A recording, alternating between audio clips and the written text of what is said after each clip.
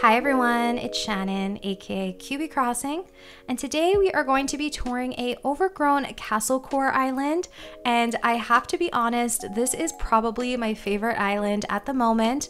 I know I say that a lot, but this creator totally took me by surprise when I recently found out about their Instagram page Ever since then, I have been loving everything that they create.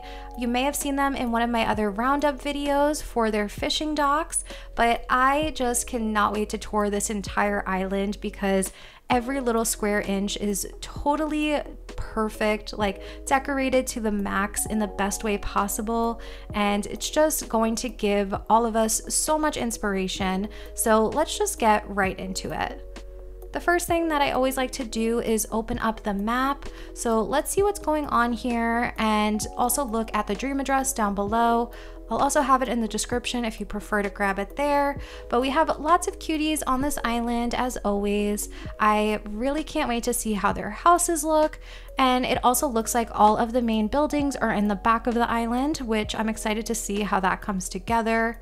You can tell that this is more of a city type of island because of the terraforming that we're seeing on the map here, but it looks absolutely beautiful and I just know that there's a ton to see, so let's actually get into it now.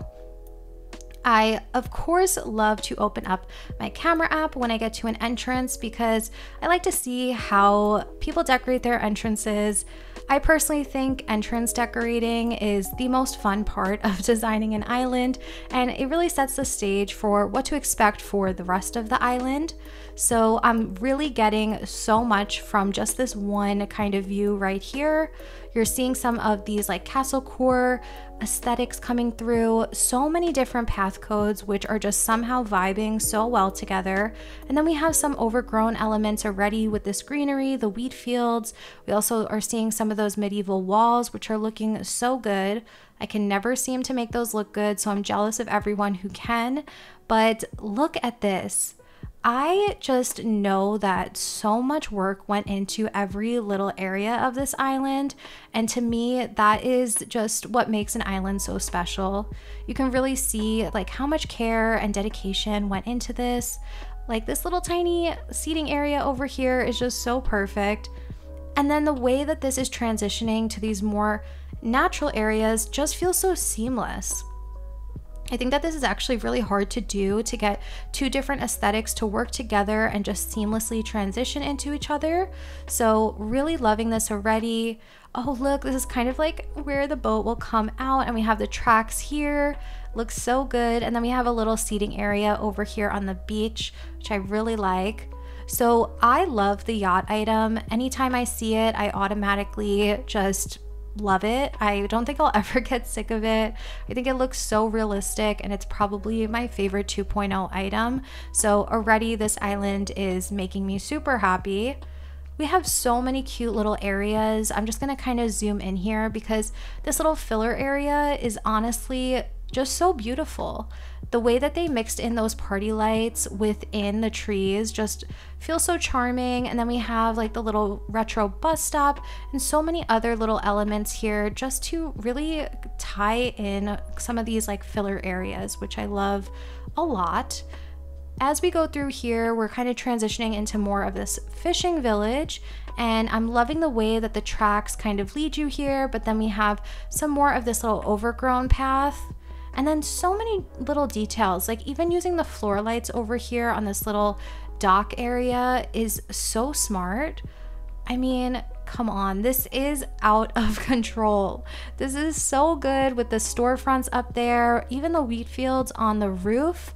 It just adds so much dimension.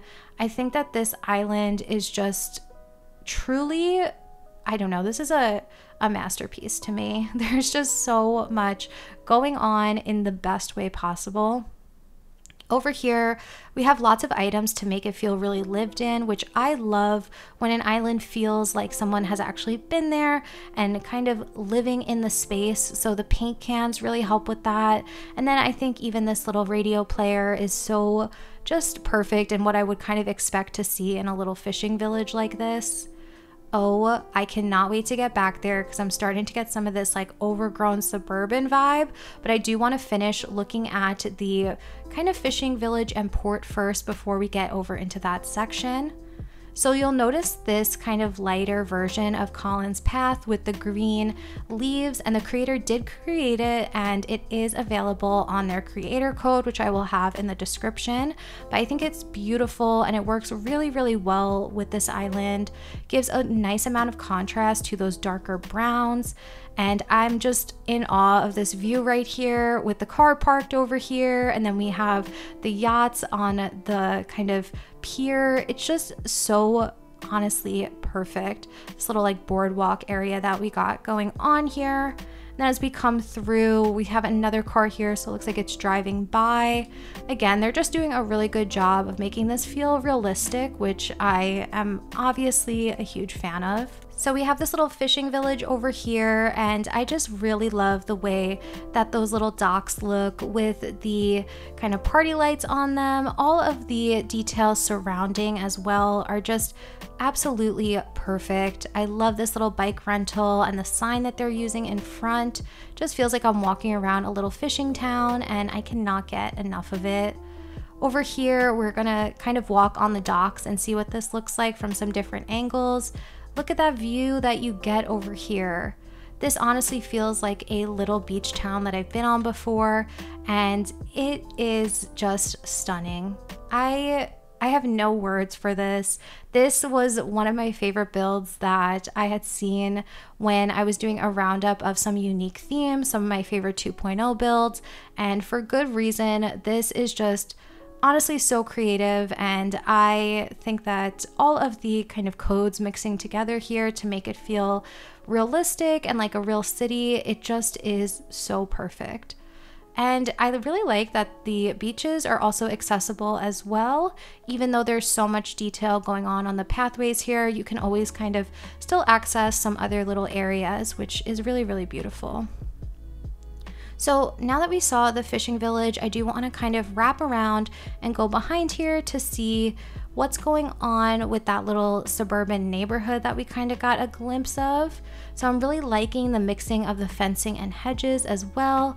And I mean, this diagonal path going on over here, I don't even know which way to go because there's just so much to see. But I think I'll wrap around here first because we didn't get to see maybe the full left side of the island yet. So if we went back this way, we can kind of get a glimpse at how these two paths are transitioning from one another. I'm going to continue on the left side of the island before we go over there, but I always like to see how creators transition their pathways if you're using multiple different road codes or path codes in general. I am just in awe of this. The way that we have this little divider as well like, that is genius, and I haven't really seen anyone do that. Look at this over here, too. We have a little truck for some coffee, and oh my gosh, the medieval walls everywhere. This is so well done. I I feel like this is a this is a island that would be like professionally made by I don't know, I guess Nintendo's islands are never really at this level, but it just feels like a professional island if there ever was one. Again, loving this and loving the separation between the two diagonal roads. Such a fun twist on the diagonal road trend. And over here, again, I just am thinking that this divider between the two roads is one of my favorite things that I've seen. So we're gonna head back here and see what else is going on on the left side of the island as we walk back here a bit more. So we're seeing some more of these like farmy areas and these more overgrown areas, which I'm loving a lot. We have a little shed over there and some of the storefronts. I'll open up the camera so we can see all of the detail that went into the second levels as well, but just absolutely stunning. I mean, whenever I come to an island and think like, wow, I would never have thought to do this, I know that the creator is just, you know, super inspiring because it's it's islands like this where it makes you think like why didn't I ever think to do that? That it just it blows me away every time. Over here, I love these display cases as well. I love that you can put things in them, and I had not realized that you could do that when the items first got released, but so cute. It looks like this is a little cafe area and a place to sit. So this mixing of these more like structured areas with the more overgrown are just so, so beautiful. I don't know if I really got to zoom into this before, but like I was saying in the beginning of the video, every area is so detailed and well thought out, so well curated. All of the items that they're choosing just somehow work together so flawlessly. And that's to me, like I said, what makes this island really, really stand out. As we go up here, I'm panning up with the camera so we can see all of the detail. And I'll turn the camera a little bit too so we can see a bit more all of that detail on the roofs of these areas as well. That is such a beautiful view here with all of the greenery mixed in with the buildings. It's just, oh, this is stunning. The pergola over here to kind of give us a little archway for where we're walking through, and then we're starting to see some overgrown weeds and another different path here. I think this is something as well that I find really inspiring when you can mix multiple paths and make it feel seamless. I just love it, and I always feel really inspired when I see something like this. Just the mixing of multiple themes that just will never get old for me makes your island so interesting and it just makes every area that you're visiting feel even more special and I guess not that I think one theme is boring, but it just keeps the island very, very exciting. So we have this kind of like overgrown train track look over here. And then we have some windmills. We have the bus stop over here, which makes a lot of sense near the train tracks. And then we have some more of this like dirt pathing coming through with the mixing of other custom codes on top. Even the cave over here to end this pathway is a really smart idea if you're ever wondering how to end a path, because I know that is kind of hard, at least for me, on like, how do I actually end this pathway that I started here? So this is so cute. I really like that they're kind of mixing in the storefronts next to the villager house to fit in with the theme of their island. And then I'm sure that they're customizing all of the villager houses to fit each of these color palettes that they're creating. And also this gazebo over here just really works beautifully within and right next to that house.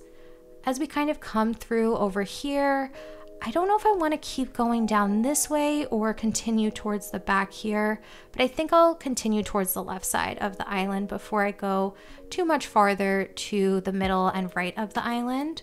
So we have this little divider here with this really beautiful pathway that the creator made, this road, and then we've landed on another villager house and look at how beautiful that is.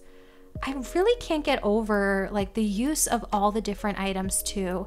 Like we're getting some medieval feels here, but then we also have some more like town overgrown areas. There's just so much that's somehow working together and I just can't get enough of it. We have another villager house over here, and again, this transitioned really nicely. That's something that I'm always working on is transitions, and I know a lot of people ask me about transitioning areas, so this island is going to be super inspiring for that. So we have a house over here, some nice little decor all around as well. And then we even have just like a little parkish like seating area, which looks really, really nice.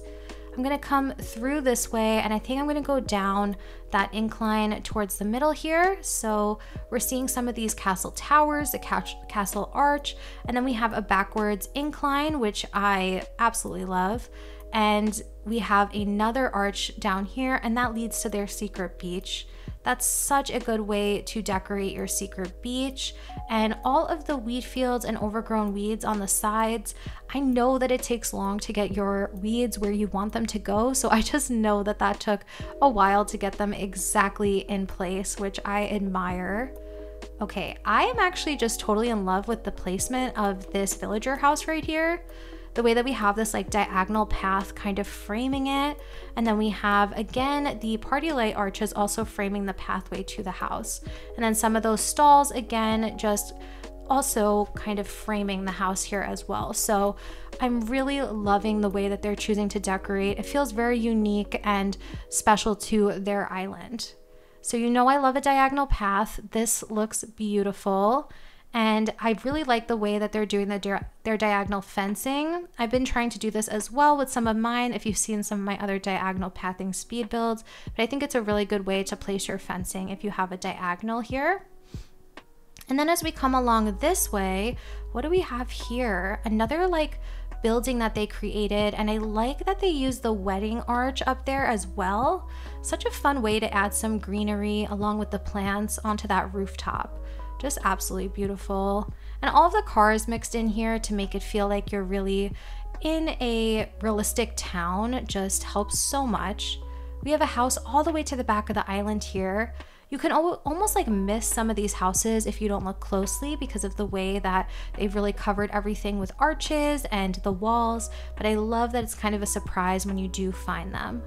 So this is a kind of dead end here. So I'm going to come back up this way and see if we want to head to the center of the island and go from there. So we were over here before looking at this little train tracks area. I think we could probably go up here, huh? Okay, whoa. So we have a little rooftop area over here. How lovely is this? Wow. Okay. I'm blown away by this view right here. Are you kidding me? This is everything. This is just such a good kind of representation of this island. I just I, I can't get over all of the greenery mixed in here with everything.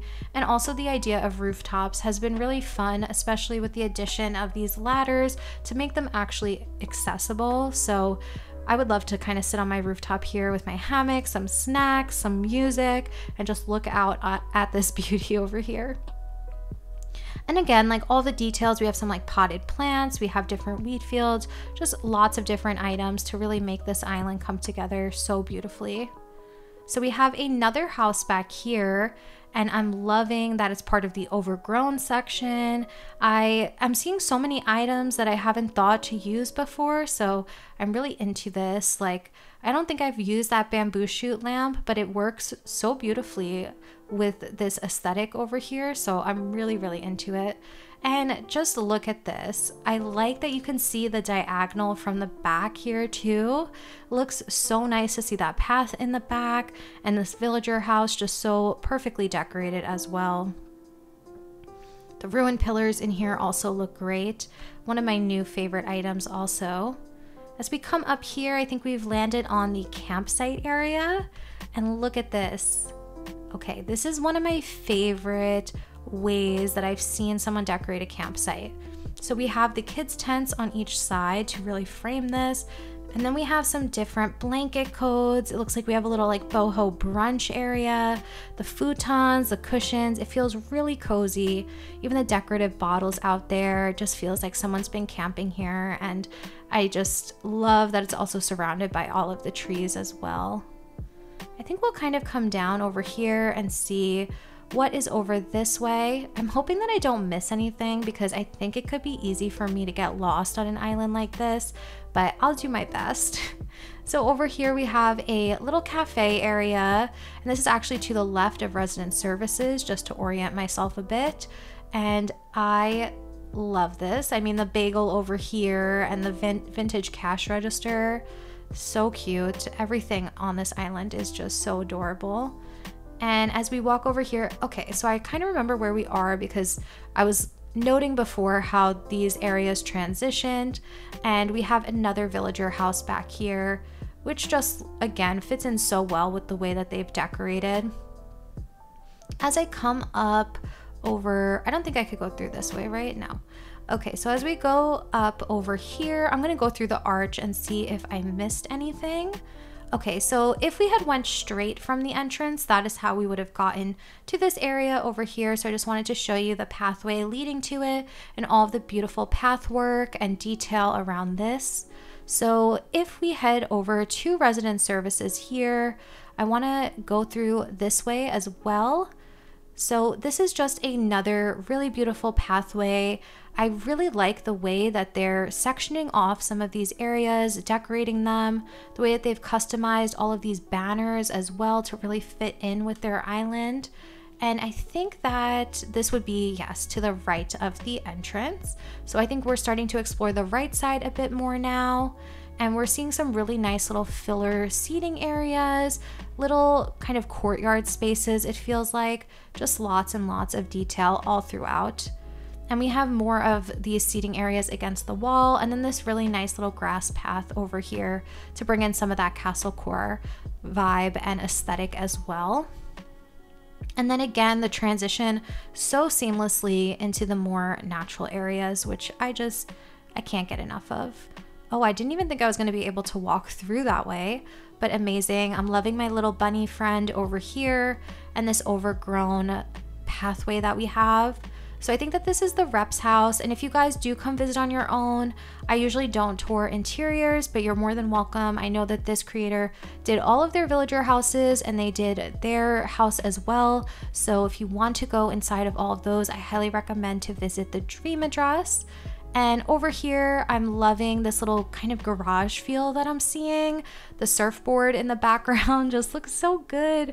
And I'm just again really liking the tracks that they're doing when they have a vehicle over here and then they have the tracks on the beach so that it looks like the car or the boat whatever item that they have there left those tracks it's just the little details that are what make makes this island and so many other islands so special and make them kind of stand out so as we come through here, I just wanted to note how much I'm loving this little dirt pathing and the way that we're seeing the greenery coming through. Look at this, the way that this curves and then we have the carriage back here. Oh, that is so pretty. I don't think I've seen anyone actually curve this dirt path before, or I've never seen it done, but it looks really, really nice and we have a little bike area with some trash bins. Again, it's the realistic elements of this island that are making it really, really stand out to me. And then we have this little pathway, which is again just kind of framed by these party light arches and then the pergola. And I'm gonna go through this way and see what's going on here. So I'm getting lots of those farmy elements with the carriages and then just the overall pathing being done. And look at this. Wow. It's like a little kind of, I don't know, like garage for all of these carriages here. It's so well done. This is an area that I would have never thought to make, so I'm really just in love with that. And we have another one of these little uh, retro bus stops, which are just a really nice alternative to seating.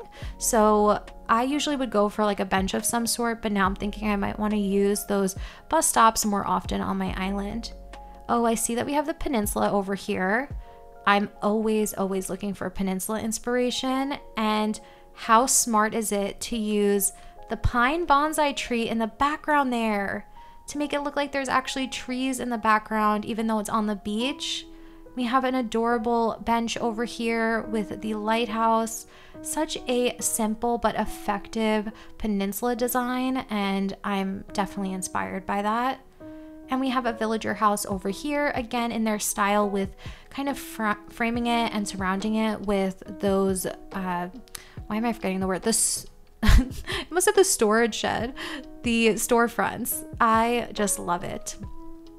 Okay, so I don't know. Can we go back this way or should I go behind where resident services is?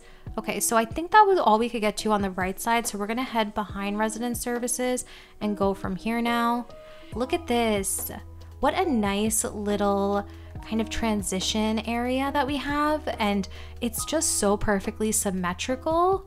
Even using these curtains outside, I would have never thought to do that in front of the storefront, but big brain idea. Definitely going to want to try that now.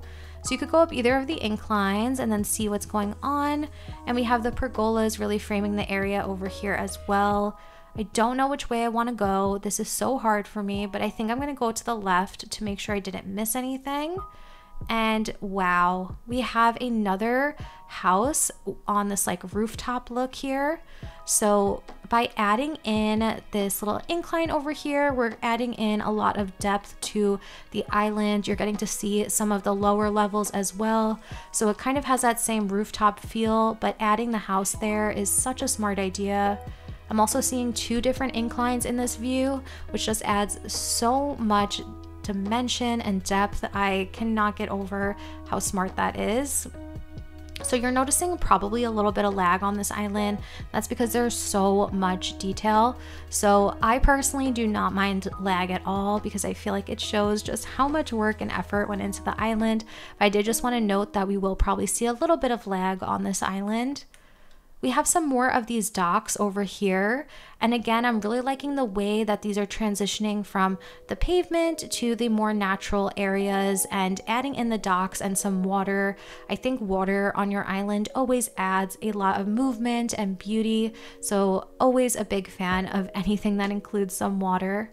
I think that this is actually their river mouth, which is such a fun way to actually treat your river mouth. I really think river mouth terraforming is pretty hard.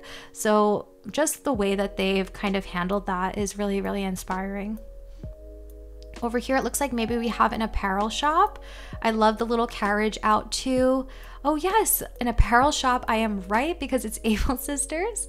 And then we have Nook's Cranny back there as well.